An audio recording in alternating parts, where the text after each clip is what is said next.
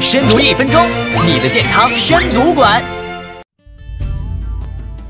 脑梗死也可以叫它缺血性脑中风，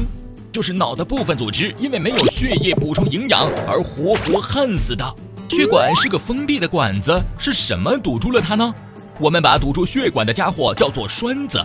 这个栓子还因它的出身不同有了个分法，出身脑袋的我们叫做脑血栓。出身脑子以外的部分的叫做脑栓塞，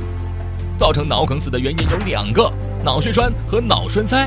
还有一个叫做腔隙性脑梗死，就是脑袋上一些细小的动脉被堵之后，导致小面积的脑组织坏死，而这些坏死的组织会被吞噬细胞移走，形成了一个空泡，于是，在脑袋里形成因为没有血液流过而造成的小片脑组织坏死。脑血栓约占脑梗死的百分之六十，而脑栓塞和腔隙性脑梗分别约占百分之二十。